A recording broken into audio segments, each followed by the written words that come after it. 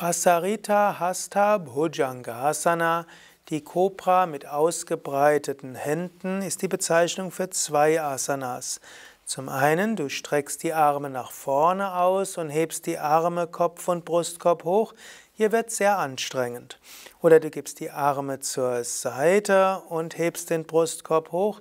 Hier ist es etwas weniger anstrengend und du entwickelst dabei auch die Muskeln zwischen den Schulterblättern. Diese Stellung kann dir auch so das Gefühl geben zu fliegen. Eine ähnliche Position ist ja auch Superman beim Fliegen, obgleich er dort eher die Arme vorne hat oder auch nur einen Arm vorne, wenn ich mich noch richtig erinnere.